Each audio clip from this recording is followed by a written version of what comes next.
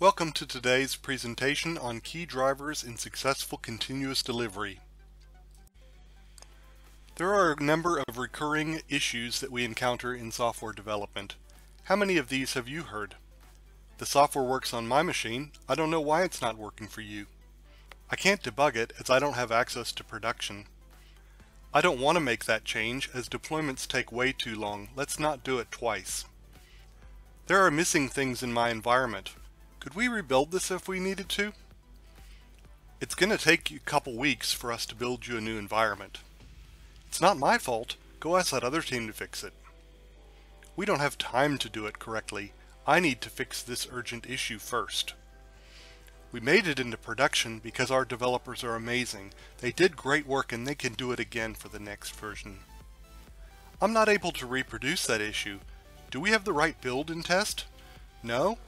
We can update it to the latest version, but that means I'm going to have to stop all my existing tests. DevOps is a culture, movement, or practice that emphasizes the collaboration and communication of multiple team members, including software developers, testers, operations, and others, while automating the process of software delivery and infrastructure changes. The goal of DevOps is to create a culture and environment where building, testing, and releasing software can happen rapidly, frequently, and more reliably. The collaboration of these primary groups does have its challenges though, and some of the issues on the previous screen are caused by cultural challenge, as the three parties each have their own reward structure. Developers, for example, are generally rewarded by how many features are created and released, whereas testers are frequently rewarded for ensuring that releases have a good quality, such as a low number of bugs. What about operations? They are rewarded for how stable and secure infrastructure is, so they are very risk averse. The trick to achieving good DevOps culture is bringing these three groups together and integrating their objectives. Continuous delivery, on the other hand, is an approach for doing iterative and incremental software delivery, whereby teams ensure that every change to the system can be released and that any version can be released at the push of a button. This is not to say that every change immediately must get deployed, but rather we can choose to deploy at any time. Continuous delivery aims to make releases easy and reliable so organizations can deliver them frequently with less risk and can get feedback quicker from the end users. We strive to make repeatable, consistent deployments become an integral part of the business process. Let's look at the differences between DevOps and continuous delivery. As we said before, DevOps is about culture. It's about creating better collaboration between development, testing, and operations, and focuses on building well-defined processes and being agile. Continuous delivery, on the other hand, focuses on ensuring that every change is well tested and integrated and is ready to be deployed to production with as little human interaction as possible. We use automation as much as possible. Gartner recently stated that DevOps is a tool-centric philosophy that supports a continuous delivery value chain.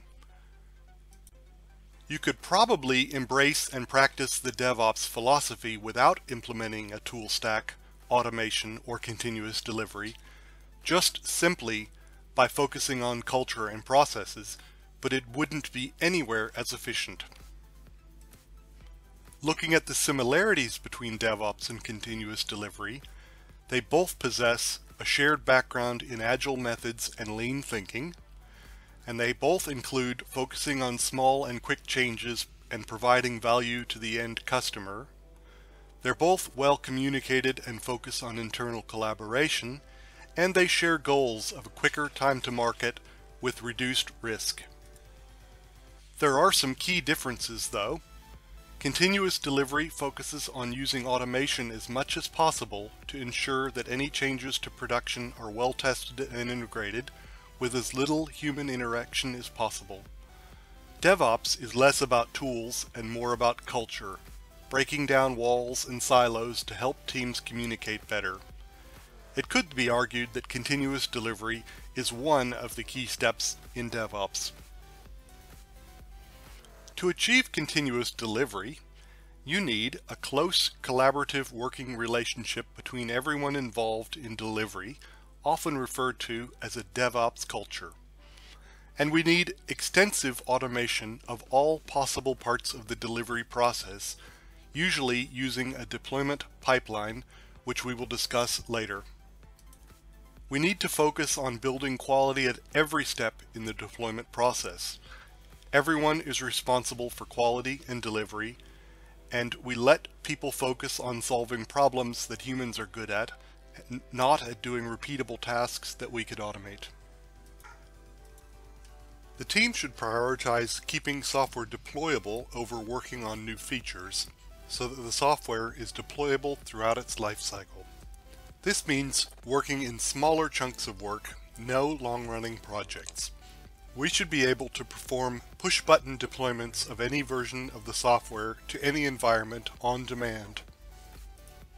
We should be relentlessly, continuously improving, which requires monitoring and feedback, and anyone should be able to get automated, fast feedback on the production readiness of their systems at any time that anyone makes a change.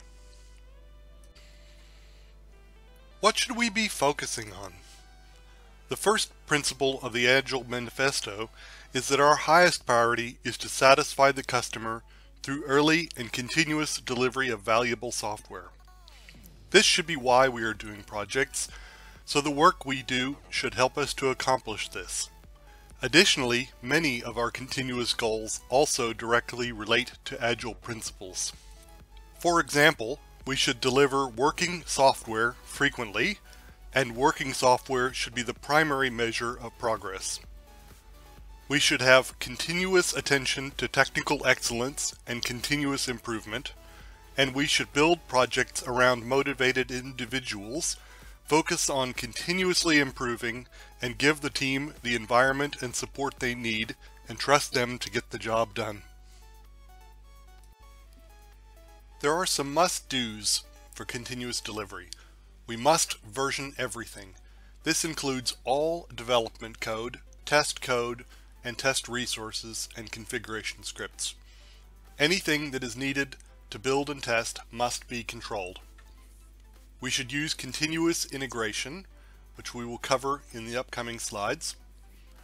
And we should use automation, anything that should be repeatable and predictable will help speed things up and also reduces errors. We must rigorously manage our environments. They must be repeatable and should be as production-like as possible and have a low number of differences, and we should automate the environment configuration. We should strive for visibility.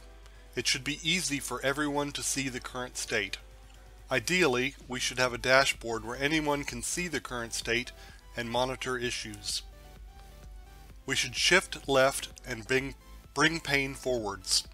This means testing every step, finding out, and dealing with problems as soon as possible. If we find a problem, fix it. Don't delay it for the future. And last but not least, we should focus on small steps.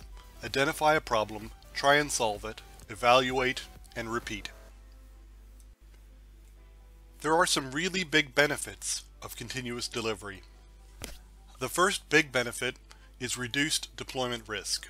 Since you are deploying smaller changes, there's less to go wrong, and it's easier to fix problems if something does go wrong.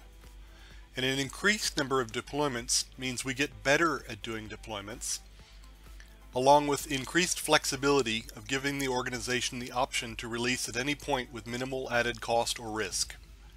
Everyone is involved in production releases, such as QA, operations, etc., and everyone is involved in making the release more efficient. As the entire organization identifies difficult areas of the process and finds ways to fix them through automation, better collaboration, and improved working practices, by continuously rehearsing the process, the organization becomes better at doing it and so releasing becomes second nature like breathing rather than traumatic. User feedback is a big benefit. Because the biggest risk to any software effort is that you end up building something that isn't useful. The earlier and more frequently you get working software in front of real users, the quicker you get feedback to find out how valuable it is or where it needs to be improved. Better quality software, because if there are issues, turnaround time is quicker, and automated tests find issues quicker, and better functionality because we get the correct functionality in front of customers faster. We also have improved quality of software by forcing the team to fix problems as they are found rather than leaving things till later. We have a faster time to market, reduced development, testing, and release time so that we can get new features to market quicker, known as a velocity culture. Companies are doing this in real-world examples with amazing success.